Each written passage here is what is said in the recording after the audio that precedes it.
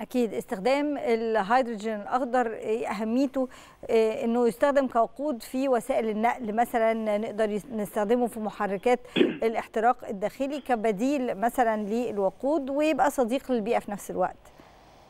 ده حقيقه يا فندم. طبعا الناس لازم تعرف برضو إن إحنا مش مش السباقين قوي في هذا الموضوع ولكن إحنا الحمد لله بدأنا بوتيرة سريعة إن لازم تعرف إن هيبقى في يوم من الأيام حاجة اسمها مثلا محطة وقود هيدروجين أخضر زي محطة بنزين زي محطة سولار زي محطة غاز. عندنا طبعا في الإمارات وشركة أرامكو ودوله الإمارات وفي السعودية بدأ already بالفعل إن في سيارات ماشية بالفعل بالهيدروجين الاخضر صديقة للبيئة. ومكتوب عليها طبعا كان ده green green hydrogen فده ده المستقبل بتاع البلاد في هذا القطاع. ده بي زي ما حضرتك بيحد من موضوع التلوث البيئي. بي بي بي بيخلي الطبيعة خضراء ما فيش أي تغير درجات حرارة وده الهدف كله في هذه الأشياء.